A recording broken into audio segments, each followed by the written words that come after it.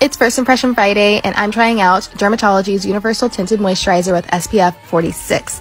It is a lightweight oil free sunscreen and foundation that blends naturally to match all skin tones with a natural healthy finish. As someone who's melanin efficient, I was really skeptical about it matching my skin tone, but I'm actually shocked that it matched and it gave me a very minimal white cast.